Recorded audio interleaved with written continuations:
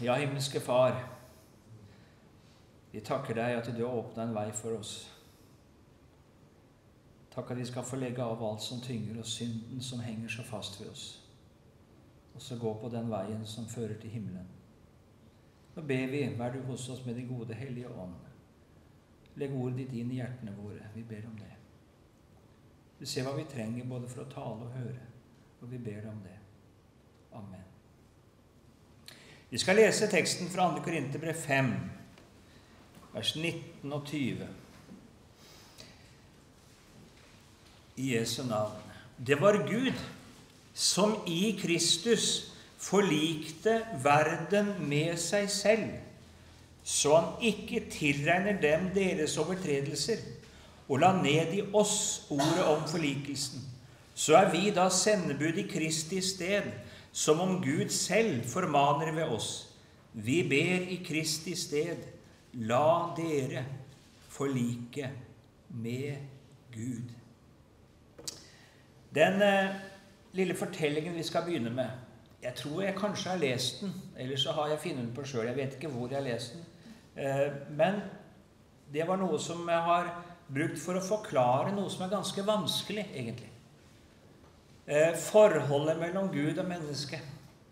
Og her er det sett på mange måter fra et menneskelig perspektiv. Denne beretningen skal du tenke på det at denne gamle Hansen jeg snakker om her, det er sånn, det er ikke slik Gud er. Men det er slik vi mennesker tenker at han er. Sånn begynner det. Eh, så, så eh, Ja, da får vi ta denne lille beretningen. Ole og noen kamerater de bodde i et eh, ja, landsens område, eller i et lite byggefelt. Og I et av de eldste husene så bodde gamle Hansen. Et fint hus med en velstelt hage. Gamle Hansen var syk og mest inne. Sol og de andre guttene kjente han ikke så godt. De trodde helst at han var både ond og dum. Og En ettermiddag etter skolen så gikk guttene forbi huset. Skal vi se jeg må, Det er så følge med på det her, da. Ja. Eh, skal vi erte gamle Hansen litt? sa Erik. Vi kaster stein på vinduet. Og når gamle Hansen kommer ut, så springer vi og gjemmer oss. Og det gjorde de. Men Ole kastet en litt for hard stein. Og litt for hardt, litt for stor stein og litt for hardt. Så steinen knuste vinduet. Og gamle Hansen kom ut, og han var sint. Nå sprang de ikke for å, bare for å gjemme seg, men de sprang langt bort, redde og feige. Men far til Ole, han hadde sett alt sammen. Han var på vei hjem fra arbeid på sykkel, og han gikk bort til gamle Hansen og snakket med ham. Og dagen etter så reiste han til byen, kjøpte ny rute og da han kom tilbake fra arbeid, gikk han bort til Hansen, satte inn den nye ruta og ryddet bort det knuste, slik at alt ble like, minst like godt som før. Og gamle Hansen ble glad og sa til Oles far, 'Nå kan du hilse Ole og de andre guttene og si at alt er i orden.' 'Hvis de vil, kan de komme til meg en tur i ettermiddag, så skal de få frukt fra hagen og saft.' Og ved kveldsmaten den dagen så fortalte far til Ole. Alt han hadde gjort, og hva gamle Hansen hadde sagt, og at gamle Hansen gjerne ville at guttene skulle komme på besøk og få gjort opp og få frukt og saft. Men Ole visste ikke helt hva han skulle tro. Ikke visste han om alt var helt i orden. Eller om han ønsket å besøke gamle Hansen. Han snakket litt med de andre guttene om det, og noen av dem var ganske negative. Nei, ikke om de ville besøke den gamle grinebiteren. Men Ole og et par av de andre guttene hadde det ikke godt. De visste at de hadde gjort noe galt. Og det var liksom ikke helt oppgjort så lenge de ikke hadde fått besøkt gamle Hansen.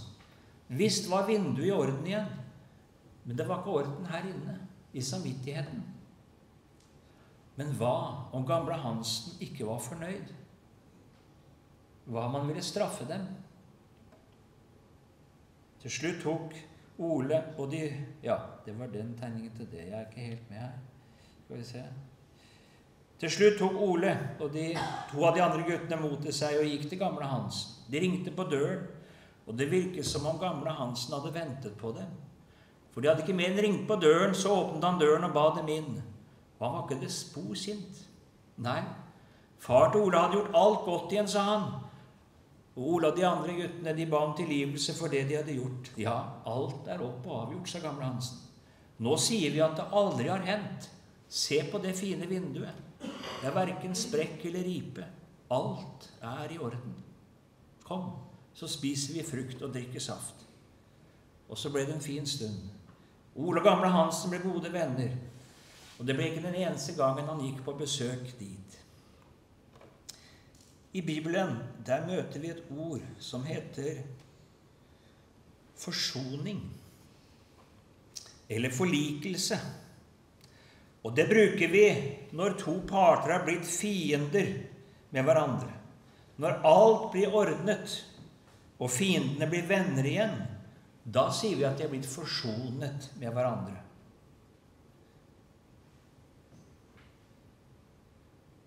Jeg er ikke sikker på om jeg er helt riktig med bildet. Ja, nå får det være. Ja. Eh, I Bibelen har ordet den samme betydning. Men vi må være klar over at ordet brukes på to måter, eller om to forskjellige forhold.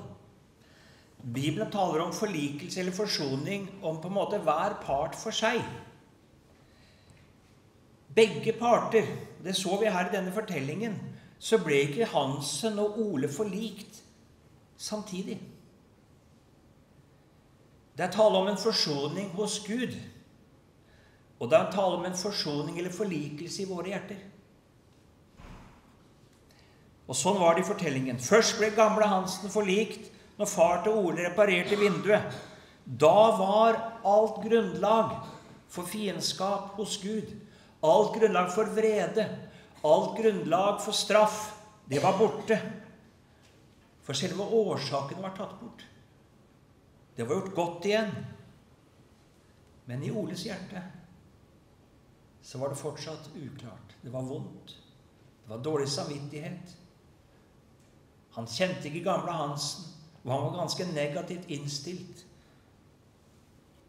Han hadde ikke fått gjort opp. Han hadde ikke fått mottatt syndenes forlatelse. Han hadde ikke fått en god samvittighet igjen. Akkurat slik er det også mellom oss og Gud. Og Det kommer av det at mellom Gud og menneske så er det et dobbelt fiendskap. Et dobbelt fiendskap. Bibelen taler om det. Vi talte, var jo så vidt innom det i går. Det Gud som har skapt oss, og Gud som er god, og skapte oss til samfunn med seg. Et kjærlighetens samfunn hvor han kunne elske og utøse alle sine gaver mot oss, og vi skulle elske han igjen. Så vet du hva som skjedde? Den onde som kom og forførte mennesket. Og tenkte at Gud, han er snever. At har Gud virkelig sagt det der? Og så var mennesket ulydig, og så syndet det mot Gud. Og så kommer mennesket, av at Gud er som han er, så kommer mennesket under Guds vrede og dom. Det betyr ikke det, sånn som du og jeg lett tenker det, og verden tenker det, at Gud er en gammel grinebiter. Det har ingenting med det å gjøre. Gud er uendelig god. Og der hvor du er virkelig god, bare tenk deg det. Hvis du er virkelig god, og så ser du to stykker som slår En som står og slår løs på en annen. Er du god da hvis du snur ryggen ting og ikke bryr deg? Er du god da? Nei. Da er du likegyldig. Er du god, så griper du inn, og så straffer du ugjerningen. For du tåler ikke urett. Og slik er Gud. Gud tåler ikke urett. Han tåler ikke løgn. Han tåler ikke ondskap og urett. Og Guds reaksjon mot det, og det har med hans kjærlighetsvesen å gjøre, det er vrede. Og det er dom. Og jo, si, jo mer kjærlig, jo mer ren, jo mer sann og god du er, jo sterkere er reaksjonen mot urett, mot synd og løgn. Og Guds reaksjon, den er død. Den som synder, skal dø. Den dagen du eter av treet, så skal du visselig dø. Og Gud kan ikke, som mange tenker om Gud Vi har en norsk dikter som het Det var vel Johan Borgen som skrev dette diktet. Mea maxima culpa. Det er hentet fra den katolske synsbekjennelsen. Min store skyld. I dette diktet så sier han det. Han tenker seg at Gud på dommens dag vil si det. Nei, rettferdigheten, barn, den glemmer vi. Jeg lar nåde gå for rett. Og så er Gud så god at han favner alle. Nei. Gud kan ikke det. Gud er ikke slik. Jeg husker min gamle bibelskolelærer Johannes Eiken på Fjelltun. Han fortalte. Det var ute i Etiopia, vel. Og Han skulle ut og tale. Han tatt på seg en lys, fin kakedress. Og så kommer sønnen som har vært og lekt, og det har vært regn, og var helt rød av gjørme fra topp til tå. Og så ville han springe opp i fars armer. Men så kunne ikke far ta imot ham, for han var så ren. Og sønnen var så skitten. Og enda han elsket sin sønn, så måtte han ta han med armlengdes avstand og få han inn. Han hadde litt god tid, skjønte jeg, til møtet. Og få tatt av han alle klærne og vasket han og kledd han. Og så kunne han favne han. Det er Guds hellighetsvesen kan, gjør at Gud kan ikke bare si 'Vi lar nåde gå for rett'. Det går ikke. Gud er en fortærende ild, og for alt som ikke er i fullkommen overensstemmelse med hans eget vesen. Og Derfor er det behov for forlikelse forsoning overfor Gud.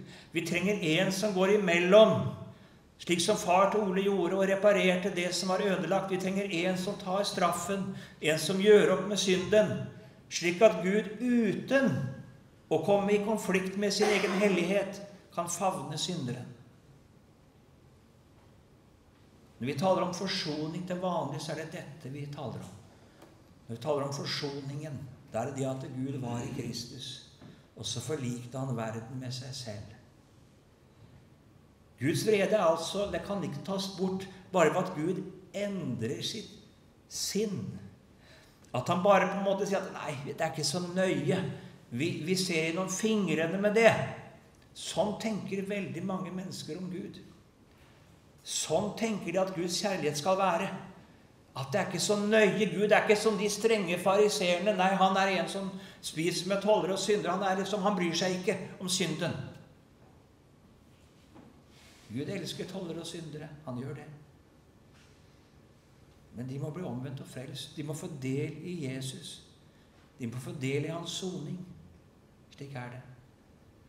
Gud elsker verden.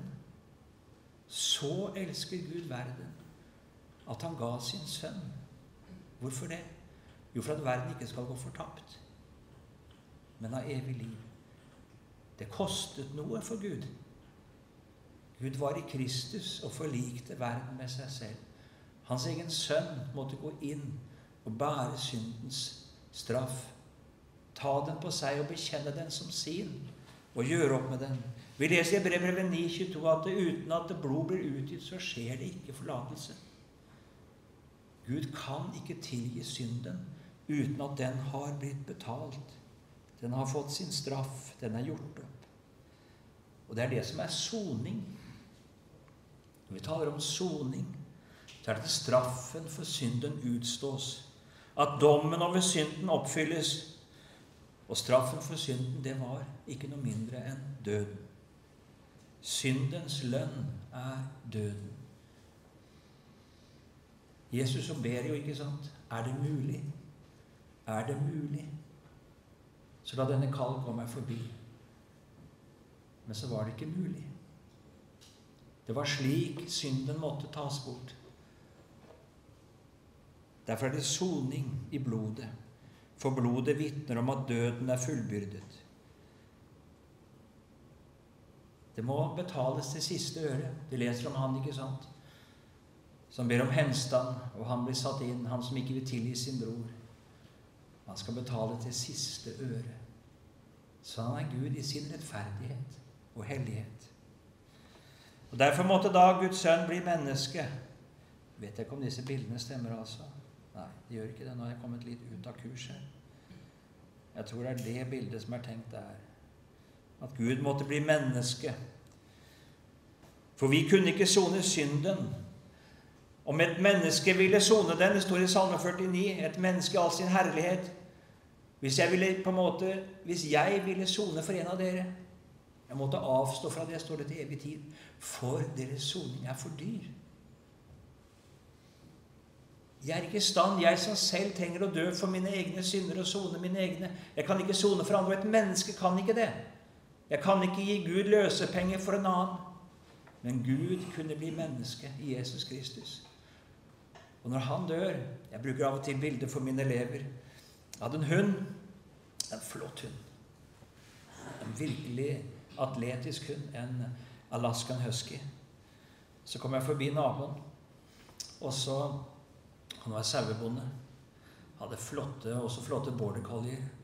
Og, eh, og så sier han til meg 'Du har mye penger, du'. Nei, se, den hunden her var ikke så dyr. Han peka på hunden min. Kosta bare 2500, sa jeg. Så det var, men det er en flott hund. Ja, men du må ha mye penger hvis den går løs i saueflokken min. og, og jeg skjønte at han mente alvor. Jeg torde ikke ha den hunden der. Eh, men tenk om jeg hadde sagt til han det, hvis den hadde gått løs. At, at ja, da kan du skyte hunden, så er det greit. Nei, sånn. Det. Men si at du kan skyte meg. Da har vi sagt nei, det får være grenser. ikke sant? For et menneskets liv er så langt, langt mer. ikke sant? Men når Guds sønn blir menneske, det er et menneske som dør. En bror, en vår bror som dør. Han som han måtte bli et menneske for å kunne ta ansvar for deg og meg. For å kunne være vår stedfortreder. Men for at hans død skulle ha en soning som hadde en sånn verdi, så måtte han være Gud. At det kunne være til soning for all verdens synd, for hvert eneste menneske. Så måtte han være Gud. Så det at Jesus er Gud og mann, det er ikke bare en teoretisk liksom en, en, en troslære, sannhet. Det er, har med vår frelse å gjøre. Er han ikke Gud og mann, så kan han ikke være vår stedfortreder. Og hans død kan ikke ha frelsende betydning for oss alle. Da Jesus døde på korset, så ble dommen over deg og meg fullbyrdet. Da ropte han ut, 'Det er fullbrakt'. Fullbrakt for deg og fullbrakt for meg. Der møtte han Gud på dine og mine vegne. Han bekjente din og min synd som sin. Og så bar han straffen for den. Jeg er så glad i ordet 'talsmann'. Det betyr egentlig Det heter parakletos på gresk. På, på latin så er det advokat. Han er ikke en talsmann Jesus som sier det at ja, Per han, han, bare, han har hatt litt vanskelig oppvekst, og, og han har, man bare liksom unnskylder han. Han visste ikke helt hva han gjorde. Nei, han er ikke en sånn talsmann som liksom unnskylder og så bortforklarer. Men en talsmann som går fram og sier 'Jeg har gjort det. Krev det av min hånd. Jeg skal ta ansvaret for denne.' Skal, sånn taler Jesus vår sak. At han går i vårt sted og ber for oss overtredere. Det står det i, Jesaja 53, siste verset der. Og ordet 'be for' det kan også oversettes 'går i stedet for'. Han går i stedet for overtredere. Slik var Gud i Kristus og forlikte verden med seg selv. Slik at Gud ikke lenger tilregner verden dens overtredelser, fordi disse overtredelsene, de er gjort opp. De er betalt for hvert eneste menneske på denne jord. Ikke én av dere som er her. Så er det slik at synden lenger stenger mellom deg og Gud. Det er tatt bort. Og så er Gud som gamle Hansen og sier, 'Kom'. Alt er ferdig. Kom og få syndenes forlatelse for synd og for brudd. Det er i orden. Det er betalt, og så har ikke Gud mer å kreve. Det er som om det aldri har hendt, det som vi har gjort. Guds nåde, det er altså ikke det at Gud er romslig, at han er litt lite nøyeregnende. Nei. Nei, Guds nåde er det at det på grunnlag av det Jesus har gjort, så kan Gud si 'kom'. Om synden er som purpur, skal den bli hvit som snø. Om den er som skarlagen, skal den bli som den hvite ull. Det kan Gud si for Jesus skyld. Der er det syndenes forlatelse og evig liv. Nåde og rett er hans trones grunnvoll.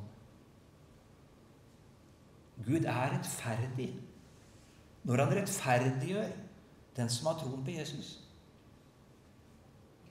Det Gud gjør, er aldri i strid med hans rettferdighet. Nei, det er rettferdig. Han krever ikke gjelden to ganger. Han har fått oppgjør, han har fått løsepenger.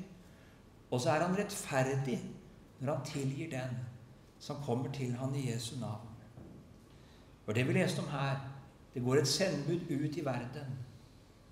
Vi er sendebud, vi som hører Jesus til, som skulle si til den døende verden La dere forlike med Gud. Da er vi kommet til det andre forholdet. Jeg sa at det var et dobbelt fiendskap.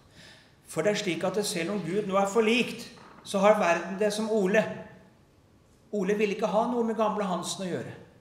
Tenker han er en gammel grinebiter, en ond og vanskelig person. Du, sånn tenker mennesket. Det er en gift fra paradiset, ikke sant? Fra djevelen, har Gud virkelig sagt. Ja, Gud er snever, han er vanskelig, han er litt urimelig, han er Og så tenker mennesket det. Fred, det er å holde seg langt borte fra Gud. Kjørte skolebuss på gymnaset. Og så kom det andakt på P1. Det var bare P1 den gangen. Så andakten kom litt over åtte, så ble sjåføren alltid febrilsk. Han måtte få av den radioen. Det var ikke så voldsomme andakter, men det var for mye allikevel. Fred fra Gud. Mennesket vil ikke innlate seg med Gud, for det tenker at Gud ikke vil dem noe godt. Det tenker at Gud er ond, at de har det best langt borte fra Han. Sånn tenker mennesket. Og det er et fiendskap i menneskehjertet. Vi er bortvendt fra Gud. Vi er fiender av Gud, fiender av sinnelag. Sånn står det i Bibelen. Fiender av sinnelag. Og så sier Bibelen, som hørte til åpning, venn om. Fatt et annet sinn.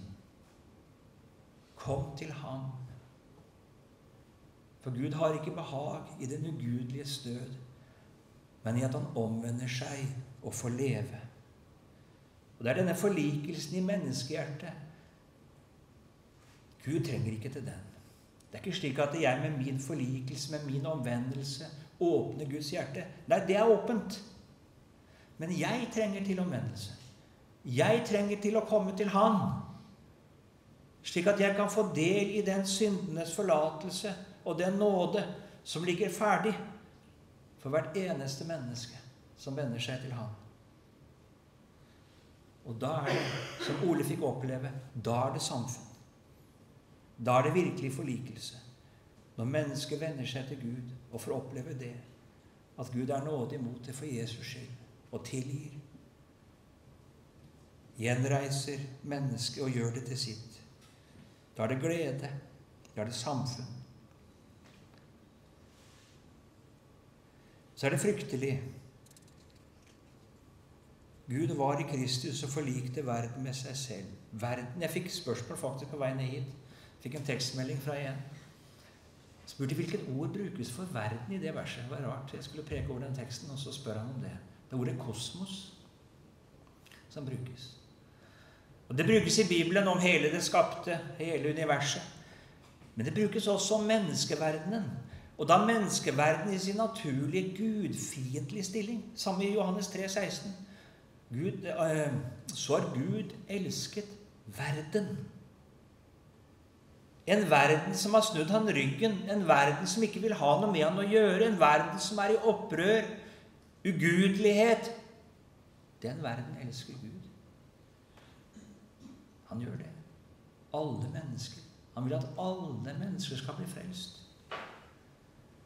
Det er en av grunnene til at jeg har litt problem med Calvin.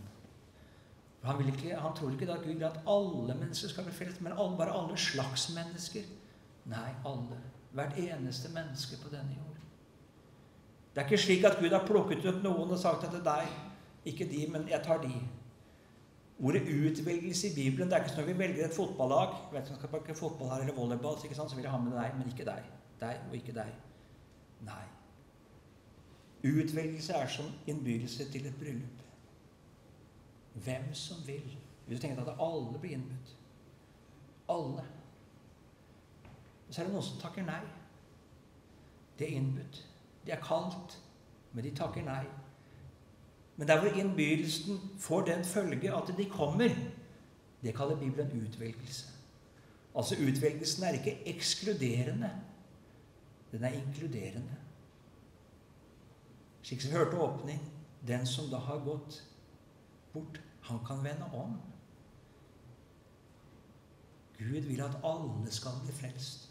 Hver eneste en. Hver eneste en som oss som er her. Slik er Gud.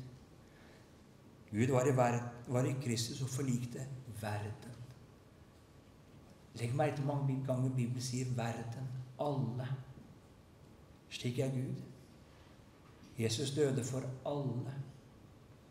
For hvert eneste menneske på denne jord. Og så er det fortvilte, da. Det som holder menneskene borte, det er ikke Gud, men det er menneskets eget fiendskap. Som tenker det at Gud vil meg ikke noe godt. Jeg har det best borte fra ham. Det er en løgn fra paradiset hvor vi tenker at Gud vil oss ondt.